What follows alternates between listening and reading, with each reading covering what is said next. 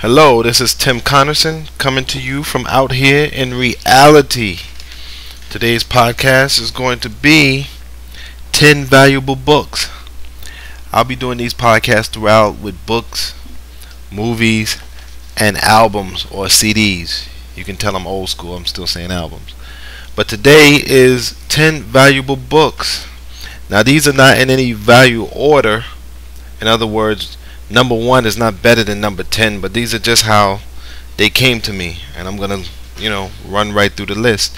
So let's get into it. Number one the Metu Neter volume 1 by Ra Un Nefer Amen that's the Metu Neter volume 1 by Ra Un Nefer Amen I love this book because it taught me as a person or as a soul in an African body everything I needed to know about myself to interact with the world and with the universe. Um, it takes African culture, Kemetic culture, and understanding and knowledge, and it breaks it down and makes it very simple and very easy.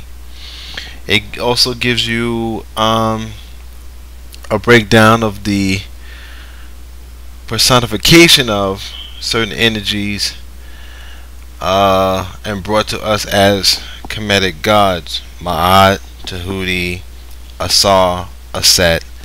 So um, that was very valuable.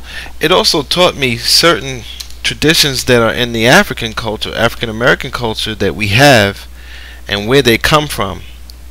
So this book actually answered questions that I always had for 30 years, 39, 38 years before I read it, and it actually answered questions that